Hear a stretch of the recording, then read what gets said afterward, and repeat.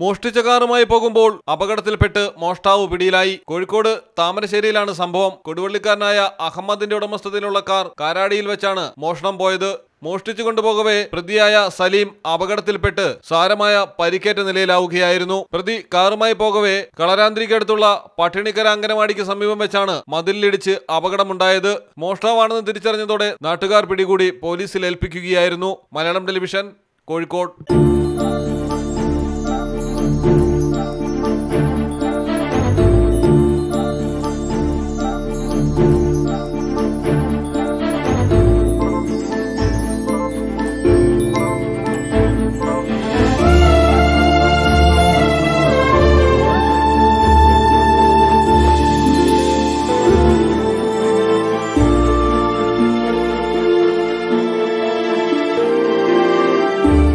പൊന്നാണ് സഫ സഫ jewellery